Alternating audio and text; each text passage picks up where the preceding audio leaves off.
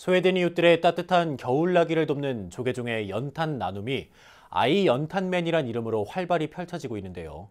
연말을 맞아 아이 연탄맨이 찾은 도심 쪽방촌 봉사에는 조계종 총무원장 원행 스님도 직접 동참했습니다. 조윤정 기자입니다. 가파른 오르막길 사이에 위치한 서울 홍제동 개미마을.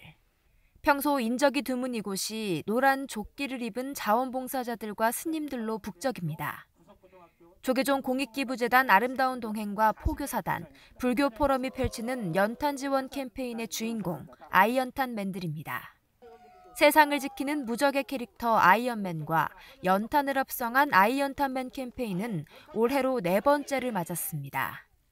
쌀쌀한 날씨에도 현장을 찾은 자원봉사자들의 표정엔 생기가 가득합니다. 오늘 학교에서 친구들이랑 다 같이 봉사활동하러 왔습니다. 오늘 보고 어렵게 사시는 분들이 많다는 거 보고 좀 많이 열심히 봉사해서 이분들이 따뜻하게 겨울 날수 있도록 도와줘야겠다고 생각했습니다. 이번 아이언탄맨 캠페인에는 조계종 총무원장 원행 스님도 동참해 눈길을 끌었습니다. 예, 생각 외로 이렇게 어렵게 힘들게 사는 분들이 많습니다. 우리가 그런 것을 어, 어, 감안해서 언제나 아, 가장 소외되고 어, 어려움을 받는 분들을 위해서 우리가 십시일반 서로 노력하고 도와주지 도와드려야 되지 않을까 생각을 합니다. 원행 스님의 손에서 출발한 연탄은 150여 명의 자원봉사자들이 만든 인간 컨베이어 벨트를 통해 80가구에 16,000장이 배달됐습니다. 힘겨운 주민들의 허기진 배를 잠시나마 채워줄 쌀과 라면도 함께 전달돼 훈훈함을 더했습니다.